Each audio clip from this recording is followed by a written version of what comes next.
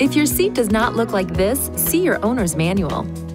Look for this switch on the side of your seat. Simply slide it forward or backward and the seat will move in that direction. This switch can also be used to adjust the height and angle of the seat. Move the front or rear end of the switch up or down to adjust the angle of the cushion. Then push down or pull up on the middle of the switch to adjust the height. To recline the seat, push this switch backward until you achieve the desired position. To bring the back upright, push the switch forward. The lumbar support feature provides lower back support to the driver, if so equipped. Push the front end of this lever to extend the lumbar support or push the back end of this lever to retract the seat's lumbar support. To fold the second row bench seat flat for maximum cargo hauling, first lower the head restraints and headrest. Next, stow the second row seat belts in the seatbelt hooks found on the sides of the vehicle.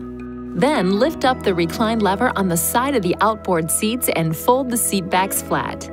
To return the second row seats to an upright position, push up on the seat back until it latches in place. When returning the seat back to the upright position, always be certain it is completely secured in the latched position. To fold the third row seats flat, pull this strap to release the head restraint.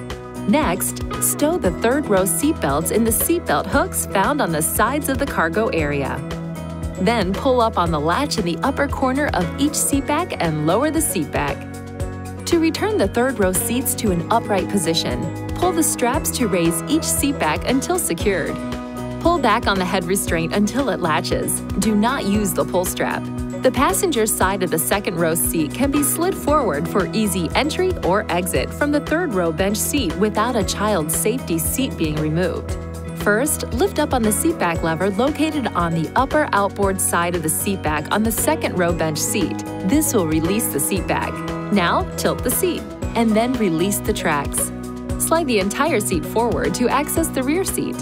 To return the seat to a locked position, push the upper seat back rearward until the seat back and track are locked.